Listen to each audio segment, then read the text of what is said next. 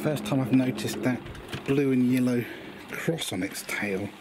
Let's just see if this shows up on radar quickly, quickly, quickly. Frida. Nope. Let's go to flight radar 24. Yep. Flight radar 24's got it.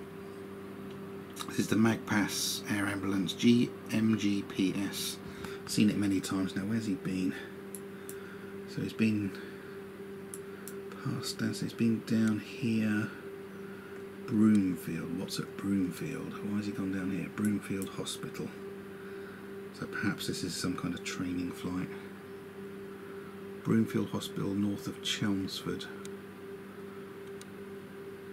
Okay. And then he's also been, where's he gone?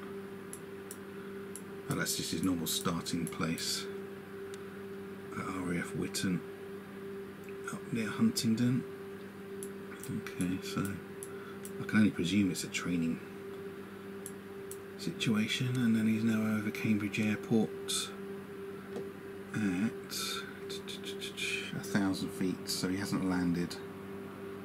He's just doing a low pass at Cambridge at the moment. Who knows if he's going to come back?